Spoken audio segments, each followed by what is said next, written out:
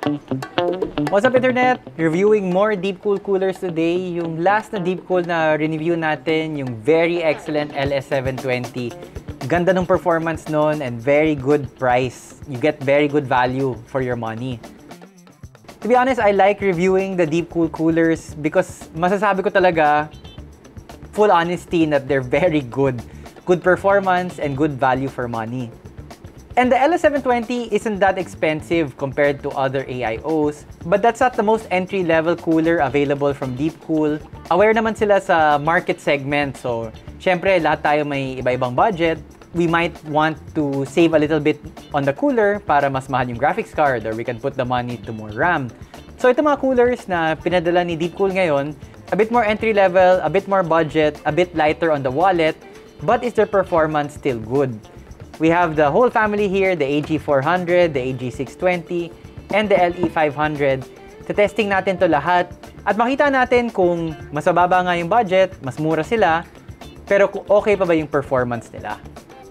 So, since medyo entry-level nga itong mga coolers na to, we don't really expect them to be cooling very, very hot CPUs. Trinay namin ibagay yung test bench na ginamit namin to these coolers. So, we used an Ryzen 5 5600 which is, you know, a very decent CPU. It generates a fair amount of heat but not too much. Hindi naman siya impyerno, hindi naman siya furnace. But it's also the kind of CPU na pwede sa stock cooler, pero kung may konting budget pa, usually you add a third-party cooler just to get that extra bit of comfort, that extra bit of performance na kaya from a third-party cooler. So we're fully expecting all of these guys actually to do a good job And to be honest, baka hindi nga sila ma-stress masyado dun sa 5600. Although yun yung common CPU or medyo around that range of CPU yung karaniwan na gagamitin mo with them. As usual for our testing methodology, we ran the CPU at full load for 30 minutes and then recorded the max temp reached as well as the average temperature recorded.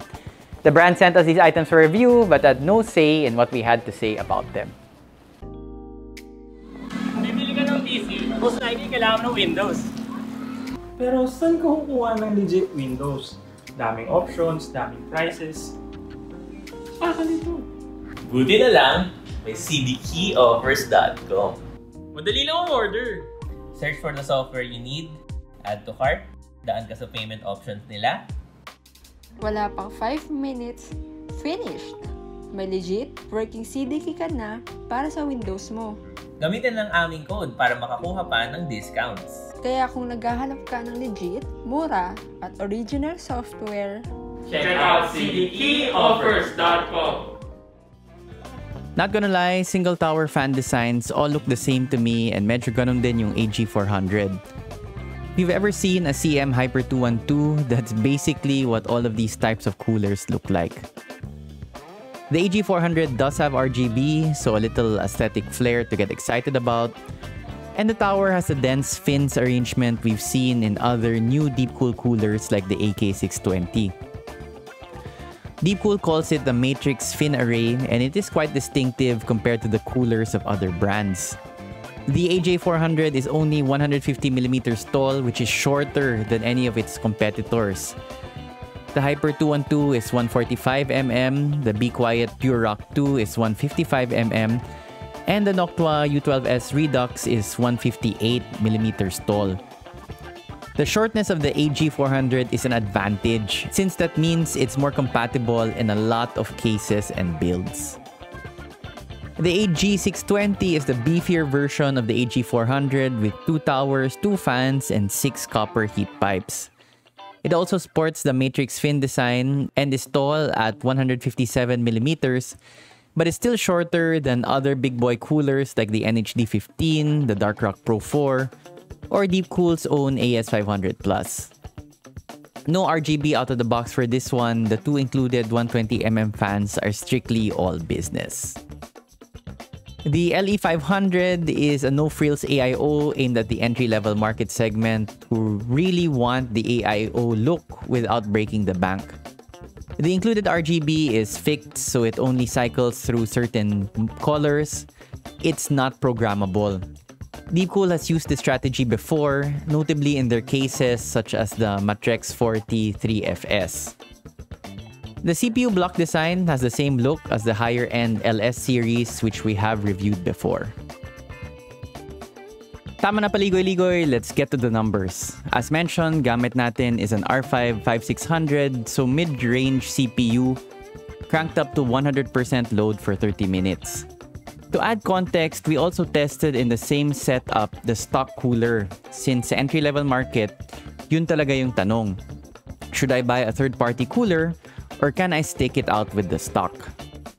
And for more context, we also tested the AS500 Plus, an excellent big boy cooler from Deepcool, to see how the new budget-friendly coolers stack up to a more expensive Deepcool cooler. The stock hit a high of 71 degrees and had an average of 69. These are not bad actually and well within the tolerances of the CPU and what you would expect from AMD's stock cooler which has always been decent. Pero PC guys are obsessed with temperatures. Marami sa audience natin pag nakarinig lang na 7 sa temperatures i.e. 70 degrees above, mag-alala na yan. Too hot na for their liking. The AS500 Plus obviously should do a lot better than the stock, and it did with a max temp of 57 degrees and an average temp of 56 degrees.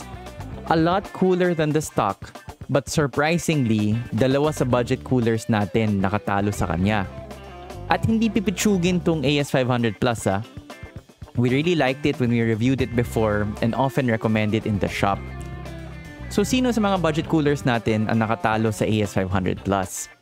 It wasn't the AG400, which to be fair, posted decent numbers. The AG400 had a max temp of 60 degrees and an average temp of 59 degrees.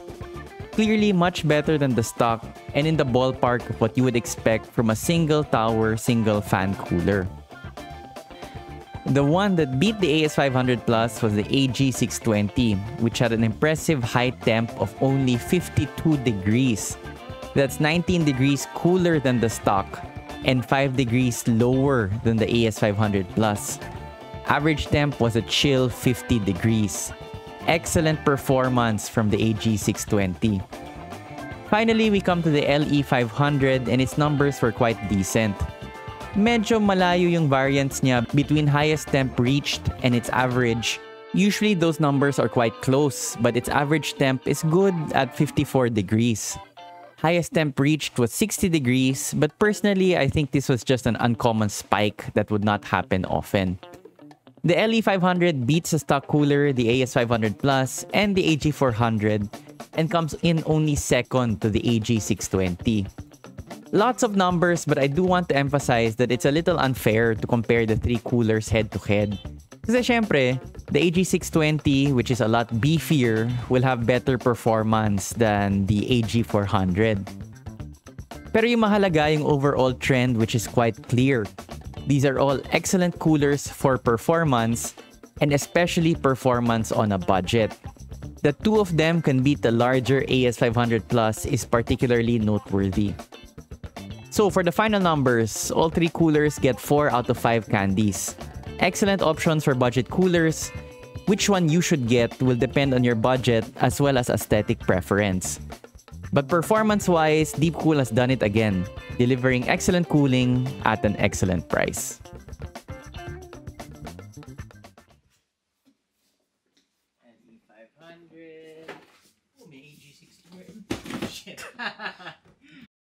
Paminsan may nagtatanong kung may kilala ba kaming computer shop na trusted, yung hindi ka lolokohin. Actually, meron. Kami. Full service PC store ang Hardware Sugar. Nagbabenta kami ng PC components. Nagbabenta rin kami ng fully assembled rigs. We clean computers. Kasama na rin yung excellent cable management namin and CPU cooler repasting sa cleaning.